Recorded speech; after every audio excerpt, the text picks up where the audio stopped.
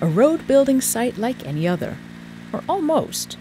One of the workers is wearing a strange device, an exoskeleton. It's the first of its kind for building and civil engineering. This model was specially designed for raking asphalt. This is hard work. One person has to spread up to 30 tons per day.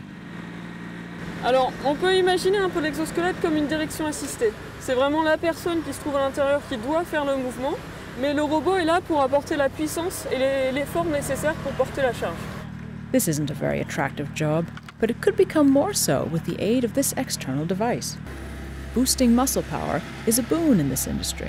Alors la problématique euh, dans nos métiers de la construction, c'est de garder euh, l'humain au milieu de l'activité, puisque le travail manuel, pour nous, est incontournable et indispensable. Et donc il nous fallait trouver une technologie qui garde l'homme au milieu de l'activité. This is the principle of cobotics, building machines that do things for us without completely replacing humans. This model was developed in cooperation with a French startup, the Atomic Energy Commission, and the defense industry. It was originally intended for use by the military.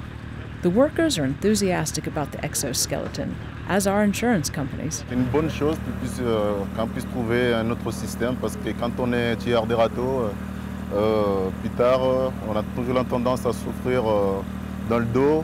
Quand on voit le mouvement qui est fait par l'exosquelette, on se dit que ça pourrait être euh, adapté à d'autres et donc on est probablement là face à une- l'émergence d'une nouvelle technologie qui pourrait se multiplier dans beaucoup de métiers. This exoskeleton is still in its testing phase. Man and machine still have to learn how to work together, but the final product could be seen on construction sites within 18 months.